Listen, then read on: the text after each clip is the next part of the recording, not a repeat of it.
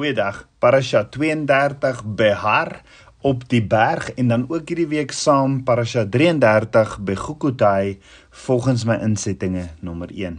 Die gedeeltes wat ons saam bestudeer in hierdie week albei parashas saam is in die Torah Levitikus 25 vers 1 tot Levitikus 27 vers 34 in die Haftarah Jesaja 32 vers 6 tot 27 as ook Jeremia 16 vers 19 tot Jeremia 17 vers 14 Dan in die Bridesha, Lukas 4 vers 14 tot 22, Handelinge 4 vers 31 tot 37, 1 Korintiërs 7 vers 21 tot 24, Galasiërs 6 vers 7 tot 10, Matteus 21 vers 33 tot 46, 1 Petrus 1 vers 13 tot 15 en Johannes 14 vers 19 tot 21.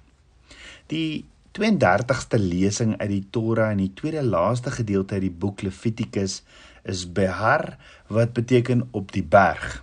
Die naam is afkomstig van die eerste woorde van die eerste vers van hierdie week se gedeelte in Levitikus 25 vers 1 wat lees: Verder het Jahweh met Moses gespreek op die berg Sinai.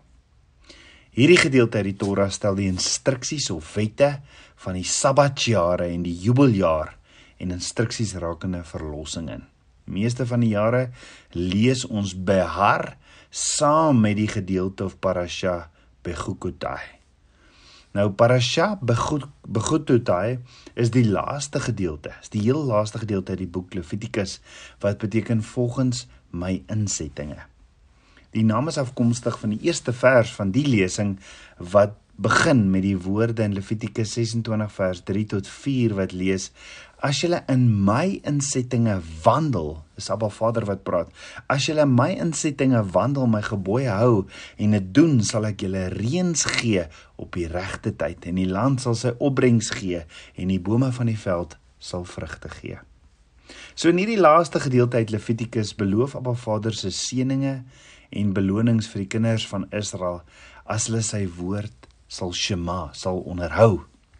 Maar ook vloeke as hulle nie sy woord gehoorsaam nie. Dan die laaste hoofstuk bespreek wat 'n uh, eh, uh, eh, wette rakende geloftes waar daar's waar daar's en tiendes. So in die Torah gedeelte of parasha vir die week saam sien ons in Levitikus 25 vers 1 die Sabbatjaar, vers 28 die Jubeljaar, uh, Levitikus 26 vers 1 die belonings vir gehoorsaamheid, vers 3 die sleutel tot lewe en oorvloed, ehm um, vers 14 straf vir ongehoorsaamheid. Vers 32 Israel die land en volk is Abba Vader se eiendom. Levitikus 27 vers 1 waardes wanneer losgekoop word. Die gedeelte in die Haftara vir Parasha 32 in die 32 in die week wat saam bestudeer word sien ons ons Jeremia 32 vers 1 Jeremia koop 'n veld. Uh vers 16 Jeremia bid vir begrip. Vers 26 Abba Vader se versekering van die kinders van Israel se terugkeer. Die gedeelte in die Haftara vir Parasha 33 in die week wat dan saam bestudeer word is Jeremia 16 vers 14 die terugkeer uit ballingskap, Jeremia se gebed, vir uh, Jeremia 17 vers 1 Judas se sonde en straf, vers 4 vertroue na Ba Vader en vers 19 onderhou die Sabbat. Dan het ons ook die die Bresha gedeelte vir vers eh, vir Parasha 32 en 33 en dit het ons nou nou bespreek is Lukas 4 vers 14 Yeshua word uit Nasaret verdrywe Handelinge 4 almal vervul met die Heilige Gees. 1 Korintiërs 7 vers 21 is jy as slaaf geroep? Goeie vraag is jy as slaaf geroep? Galasiërs 6 vers 7 tot 10 wat jy sê is Lemai Ehm um, dan kyk ons ook in Matteus 21 vers 33 die gelykenis van die landbouers. 1 Petrus 1 vers 13 die vermaaning om heilig te wees en Johannes 14 vers 19 wie Yeshua liefhet sal wie Yeshua liefhet sal wat doen. So die eerste gedeelte of parasha begin met die instruksies dat 'n dat 'n Israelitiese boer sy land elke 7de jaar moet laat braak lê. Dit word die Sabbatjaar of die Shemitah genoem. 6 jaar lank word 'n boer toegelaat om sy landerye en wingerde te plant en te oes, maar gedurende die 7de jaar is geen aanplanting of oes toegelaat nie en al die inwoners van die land kon vrylik gaan optel wat die landbougrond natuurlik geproduseer het in daardie jaar. Nou kan jy dink hoe moes jy ge hoe moes jy gevoel het as 'n boer in daardie tyd. Almal kom jy mag nie jou 7de jaar in die plant of iets nie en dan kom almal hulle tel jou op. Maar daar's iets anders. Amper hierdie is amper soos die dubbele gedeelte manna wat op die 6de dag van die week geval het. Want sien, net so het Abba Vader beloof om op die 6de jaar 'n dubbele gedeelte van die oes te gee. So jy het klaar voorsiening gekry vir die 7de jaar. En daarom sê Abba Vader moet die land rus. Jou boerdery moet rus en almal kan vrylik daarvan kom haal. Daarbenewens het Abba Vader ook die instruksies gegee dat die kinders van Israel 7 siklusse van 7 jaar moet tel, 'n totaal van 49 jaar. En as die 50ste jaar aanbreek, op versoeningsdag op die versoeningsdag Yom Kippur moet die shofar ook geblaas word. Hierdie 50ste jaar sal 'n jubeljaar of 'n jubilee wees, 'n jaar van vrylating vir die land en al sy inwoners. Slawe sou vrygestel word, skuld sou gekanselleer word en die bestuur van die land sou terugkeer na die oorspronklike titelhouers toe. Daarbenewens is die oes van die 6de jaar van die 7de siklus nodig om die kinders van Israel 2 jaar lank te onderhou. Dit wil sê die 49ste en die 50ste jaar.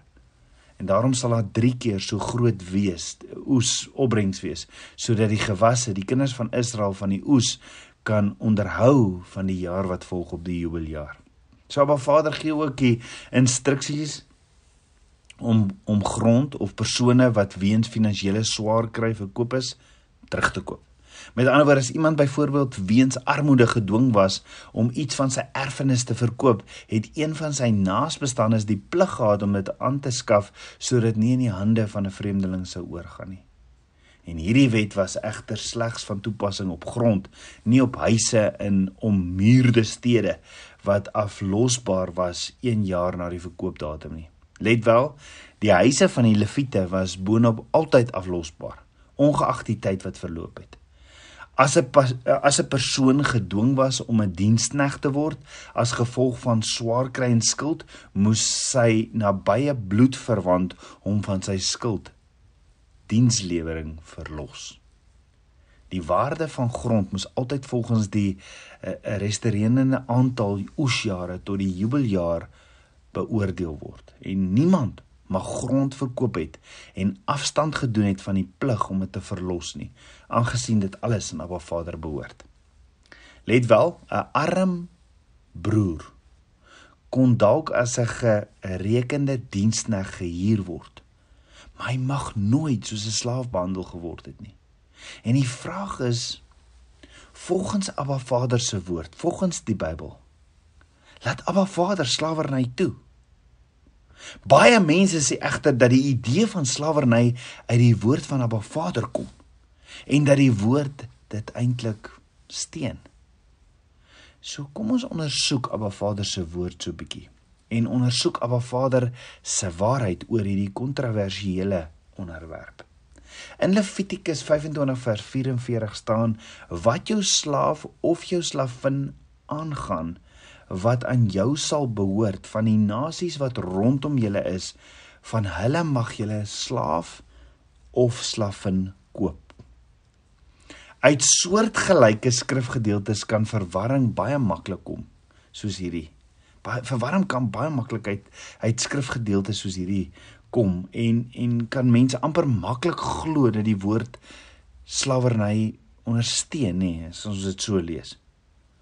Maar kom ons delf dieper en soek Abba Vader se waarheid. Hoor gou-gou. Eerstens bestaan die woord slawerny nie in die oorspronklike Hebreëse Bybel nie. Die woordjie in Hebreëus wat as slawerny vertaal word, is die Hebreëse woord ebed wat dienskneg beteken en word in die King James byna 800 keer vertaal as dienskneg en nie een keer word dit as slaaf vertaal nie. Maar dit beteken nie dat die konsep van slawery slawerny nie bestaan het nie. Dit het beslis bestaan en in baie forme. Ebed die woordjie vir diensneg, kom van die drie letter Hebreëse roetwoord abad wat beteken om te werk of om te dien. En uit die twee letter ouer wortelwoord ab wat die idee dra van 'n dik donker wolk. As iemand gedwing word om 'n ebed te word, kan dit oor 'n tydperk soos 'n donker wolk oor die persoon se lewe word. Dink daaroor. As jy 'n diensnag is na rukkie kan dit soos 'n donker werk 'n wolk oor jou hang. Maar ons gaan nou-nou verder kyk na hierdie dink dik donker wolk. Maar laat ons die woordjie ebed van nader bestudeer in al sy forme. Om eerstens hierdie moeilike skrifte te verstaan oor slawerny, moet ons eers vertroud wees met slawerny en diensbare praktyke in daardie tyd. In daardie tyd was die lewe uiters moeilik. Dit was hoofsaaklik 'n landbougemeenskap wat heeltemal afhanklik was van natuurlike kragte wat buite hul beheer was, soos byvoorbeeld reën. Alhoewel daar beslis 'n ryk sowel as 'n middelklas was, was die armes algemeen en in 'n konstante noodtoestand. Daar was verskillende soorte diensknegte en verskillende maniere waarop 'n persoon 'n dienskneg kon word. Die twee hoofgroepe diensknegte was die Hebreëse eh, diensknegte en die heidense diensknegte. En daar was verskillende reëls wat in die woord aangewys word vir elkeen. 'n Mens kon in daardie tyd 'n dienskneg word deur gevange geneem te word deur 'n oorlog. Jy kon in daardie tyd 'n dienskneg word deur gedwing te word om jouself te verkoop as 'n ebed of 'n dienskneg as geval as gevolg van onbetaalde skuld. Jy kon in daardie tyd 'n dienskneg word deur gebore te word uit ouers wat in die posisie van 'n slaaf was. Of jy kon in daardie tyd 'n dienskneg word deur as jy ontvoer was en as jy as 'n slaaf verkoop word soos Josef, nê. Nee. In daardie tyd was slawerny en diensknegskap hard. Dit was moeisaam, dodelik, afhangende van hoe goed hulle deur hulle meester behandel was. Om hierdie rede en meer wou Abba Vader dit baie duidelik maak oor hoe die kinders van Israel hierdie saak moes hanteer en wat sy instruksies daaroor is. Waar die reëls vir slawerny en diensknegskap aan die individuele meester oorgedra was, sou dit nie met sy volk die geval wees nie. Die armes sou altyd daar wees. Daar sal daar sal altyd mense wees wat deur oorlog verplaas is. Wat geen ander manier sou hê om te oorleef buiten om diensknegte te word nie. En daar was altyd mense wat nie hul skuld kon betaal nie en wat bankrot was. In teenstelling met die ander gode, die heidense gode, afgodsdienste van al die ander nasies, sou Abba Vader die regter en God van Israel hy sou seker maak dat diegene wat in die ebed of dienskneg kategorie val regte het en beskerm sou word. 'n amazing God wat ons dien. As iemand byvoorbeeld 'n mede-Hebreër was wat swaar gekry het en gedwing was om 'n dienskneg te word om sy skuld te delg, mag die persoon nie as 'n slaaf behandel geword het nie, maar as 'n huurling of in hedendaagse terme as 'n werknemer. Levitikus 25 vers 39 tot 43 sê: En as jou broer by jou verarm en hom aan jou verkoop, mag jy hom nie as slaaf laat dien nie. Soos 'n dagloner, soos 'n bywoner, moet hy by jou wees tot die jubeljaar toe. Moet hy by jou dien dan moet hy vry van jou weggaan hy en sy kinders saam met hom en hy moet na sy nageslag terugkeer en die besittings van sy vaders teruggaan. Want hulle is my knegte wat ek uit Egipte land uitgelei het. Hulle mag nie verkoop word soos 'n mens se slaaf verkoop nie. Jy mag nie met harde hardheid oor hom heers nie maar jy moet jou God vrees. Met ander woorde hy moet 6 jaar by sy werkgewer werk en gedurende die 7de jaar vrygelaat word. Dan gedurende die jubeljaar wat elke 50 jaar was, is alle Hebreëse dienaars vrygelaat ongeag hoe lank hulle gedien het, ongeag wat se skuld. Geen Hebreëse diensneg of gebed die Hebreëus die Hebreëus vir diens uh, diensnag gesê bet kon langer as 6 jaar dien nie. Maar Vader het seker gemaak dat daar 'n stelsel bestaan vir Hebreërs om hul skuld te delg en met hul lewens voort te gaan. Slawerny onder die kinders van Israel was nie geduld nie. Wonder wat dink die banke vandag van soveel skuld wat uitgeleen word en daardie skuld daar hoe die vyand vandag Abba Vader se kinders kom vasbind met skuld. Nou die verskil hier in ons werknemers analogie is dat die persoon in hierdie posisie nie vir sy arbeid betaal sou word nie omdat hulle verskuldige skuld afbetaal het waarmee hy ook al ingekom het om te werk is waarmee hy dan ook uitgegaan het.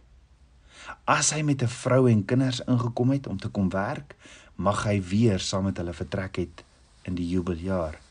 As hy alleen ingekom het en dan onder sy meester se dak getrou het mag hy vertrek maar sy vrou en kinders wat onder die servituutstatus gebore is moet by die meester bly omdat hulle onder sy huis gebore is en hy het voorsiening gemaak vir hulle. Maar as die diensnag by sy gesin wou bly, dan staan daar in Eksodus 21 vers 6, dan moet sy heer hom na die owerhede bring en hom by die deur of die deurpos bring en sy heer moet sy oor met 'n els deurboor daarna moet hy hom vir altyd dien. Maar Vader het streng reëls ingestel vir diensbaarheid, want hy wou nie hê dat sy volk ooit weer as slawe verkoop moes word nie. Levitikus 25 vers 42 tot 43 sê want hulle is my knegte wat ek uit Egipte land uitgelei het. Hulle mag nie verkoop word soos 'n mens 'n slaaf verkoop nie. Jy mag nie met hardheid oor hulle heers nie, maar jy moet jou God vrees. OK, so as iemand nie 'n Hebreër was nie en as so iemand in oorlog gevange geneem was of as gevolg van finansiële redes verkies het om homself te verkoop, was die reëls dan anders. Daar was nie so 'n vryheid van Shemitah of jubeljaar vir ander nasies onder hulle instruksies of onder hulle gode nie. 'n Hebreër kan 'n ibed of 'n diensnag van 'n ander nasie koop en daardie persoon sal lewenslank hulle eiendom wees volgens Levitikus 25 vers 45. Maar onder geen omstandighede mag jy oor hulle heers met hardheid nie, ongeag of die persoon 'n Hebreër of 'n heiden was nie. Alle mense moet met waardigheid en respek behandel word. Alhoewel die behandeling van diensnegte die diensknegte grootliks afhanklik was van die karakter van die meester, was daar nog steeds streng voorskrifte vir die behandeling van diensknegte. As die meester byvoorbeeld 'n slaaf geslaan het of 'n dienskneg liggaamlik gewond het, sou die dienskneg volgens Abba Vader se instruksies vrygelaat word weens sy besering. Dit was egter nie die geval in vreemde lande wat nie Abba Vader se instruksies gehoorsaam het nie. Juis om hierdie rede het baie mense hulle as diensknegte of as 'n ibed verkoop aan die kinders van Israel. Hulle het geweet dat Abba Vader instruksies, wette en regte gegee het aan diensknegte wat nie onder ander nasies bestaan het nie. Let wel, die meerderheid van die slawehandel in Israel was as gevolg van iemand wat homself aan slawerny verkoop het in moeilike finansiële tye. Sonder hierdie stelsel of diensbaarheid sou baie gesinne heeltemal hopeloos wees en van die honger gesterf het. Hierdie stelsel het hulle die vermoë gegee om skuld te betaal en om te oorleef. Vir Hebreërs was daar altyd 'n lig aan die einde van die tonnel met Abba Vader se instruksies dat 'n mens net 6 jaar kon werk en dan is almal op die jubeljaar vrygelaat.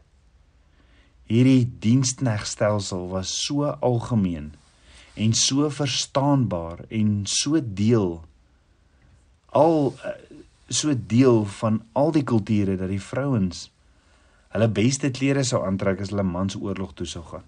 Want as hulle man sou sterf, sou hulle hulle self so aantreklik gemaak het vir die wensoldate sodat hulle vir hulle kon sodat hulle hulle kon koop as diensbares. Hulle het geweet dat hulle fisieke lewens op die spel was en as hulle nie na die geveg gekies sou word nie, sou hulle waarskynlik sterf weens die strawwe omgewing wat ontstaan het na aanleiding van 'n oorlog getuisterde dorpie waarin hulle sou agterbly. Prakties, hoe dit alles verband hou met ons vandag. Wat beteken dit vandag vir ons? Dit het baie met ons te doen. En is feitelik die hele fondament van die hernieude verbond. In die eerste plek is die diensnag posisie gebaseer op skuld. As iemand nie sy skuld kon betaal nie, moes hy homself aan slawerny verkoop. Wel, Abba Vader se woord sê in Romeine 6 vers 23, want die loon van die sonde is die dood, maar die genadegawe van God is die ewige lewe in Christus Jesus ons Here. Ons het dus almal skuld wat ons nie kan betaal nie weens sonde. Vir almal wat dit verstaan en hulle self gee as diensknegte, betaal Yeshua voor met die losprys van sy bloed en word ons syne. Ons is nou sy diensknegte en behoort ons aan hom. Dan hoe werk die 6 jaar? Die 6 jaar werk hierdie 6 jaar werk hou profeties verband met die 6000 jaar van menslike arbeid op aarde en dan in die millennium 'n dag of 1000 jaar rus vir die dienaars van Yeshua. Op daardie dag word al die dienaars van Yeshua bevry van hierdie aardse stelsel en kry hulle nuwe lewens en nuwe posisie in die koninkryksisteem. Net soos die bepaling in die woord omdat ons ons meester so liefhet en ons met sulke goedhartigheid en voorsiening behandel word deur hom, kies ons dan om voor die regters te gaan staan om soos hy deurboor te word en 'n eed af te lê om hom vir ewig te dien in sy woning. Let wel die heidense knegte het ook min regte gehad.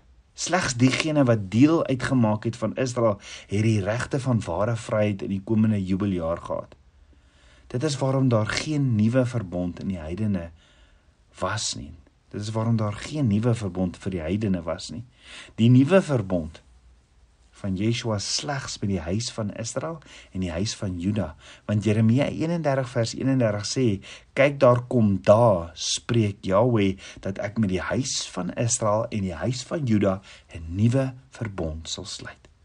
En dit is waarom Paulus sê dat die heidene in die olyfboom van Israel ingeënt moet word Romeine 11 en deel moet word van Israel en in dieselfde beloftes kan deel Efesiërs 2 As jy nie deel van Israel word nie, kan jy nie deel hê aan die verbondsbeloftes nie, soos byvoorbeeld die instruksie oor die diensknegte nie. Dan onthou die woordjie bed van die Hebreëse hoofrootwoord ab wat beteken die donker dik wolk.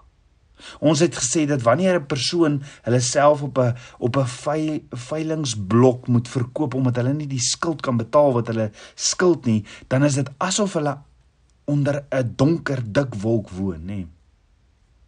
Die amazing mooi ding van hierdie Hebreëse woordbeeld is dat donker dik wolke gekoppel is aan Abba Vader se seun, sy bedekking, sy heerlikheid, sy teenwoordigheid reg deur die woord is hy die wolk. Dit was die wolk wat bo op die tabernakel was. Was Eksodus 19 vers 9, Job 22 vers 14. Vir diegene wat diensknegte van die Allerhoogste is, is dit soms moeilik en warm, maar jy's onder die heerlikheid, die glorie van Abba Vader. Ons is dan verseker van reën, van seën vir ons arbeid. Maar hy's in die wolke en water in sy naam. Want sien die Hebreëse woord vir water is mehim en die woord vir die hemel is shehemim. She mahim Sem is die woord vir naam en Mehim is water. Met ander woorde, die hemel is letterlik die plek waar water uit die naam kom. Laastens, Ibed of diensnig word gespel met 3 Hebreëse letters, naamlik die die Ayin, byt en Dalet. In die antieke polypiktogram Hebreëus waar elke letter oorspronklik sy eie prentjie het, is Ayin se prentjie 'n oog Byt is 'n prentjie van 'n huis en Dalet is 'n prentjie van 'n oop deur. As jy dit alles bymekaar sit, skets Abba Vader vir ons hierdie volgende prentjie van die een wat 'n oog op die huis hou, word 'n oop deur voorgegee.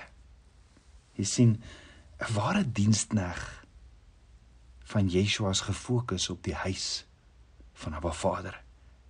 En op sy beurt maak die Vader van die huis dan die deur oop. As ons die tyd neem om regtig op ons eie huis, hierdie tempel van hom, hierdie woning, vandag is ons tempel, ons die tabernakel waar binne hy woon. As ons daarop fokus en alles van hom leer, sal hy deure oopmaak wat ons gedink het onmoontlik was om oop te maak. So ek weet nie van jou nie. Maar ek is dankbaar om 'n ewige dienskneg van Abba Vader te wees deur sy seun Yeshua wat die prys betaal het my ore is deurboor met sy woorde. En ek wil so aandagtig luister na die stem van my meester. Ek is syne. Ons is teen 'n prys gekoop en ten volle voorbetaal. En ek gee myself aan hom as 'n lewende offer, 'n diensnag vir ewig. Ek prys Abba dat sy woord die Ou Testament, die Torah nie opgeskeur is soos baie verkondig nie, want anders sou die wette van 'n dienskneg nie vandag in werking gewees het nie. Dit is immers die wette van die dienskneg wat my toelaat om gekoop te wees of gekoop te word deur die prys wat Yeshua betaal het. 'n Prys wat ek nie kan betaal nie. Kom ons bid saam. Aba Vader, koning van my hart. Aba Ek loof en ek prys U. Dankie vir die prys wat U seun Yeshua betaal het. Dankie dat U my so liefhet dat U U enige gebore seun gestuur het.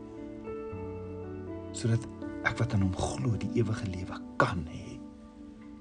Vader, ek wil U diensnig wees. Kom deurboor my ore met U waarheid, met U woord waarna ek my wil vasbind. Ek wil U diensnig wees. Ek wil vir U werk. Ek gee myself oor as lewende offer. Vergewe my my skuld. Vergewe my my sondes. Was my met die waterbad van u woord. Kom leef u droom deur my. Ek bid dit alles in Yeshua Messie se naam, die seun van Jahweh. Amen. Shalom.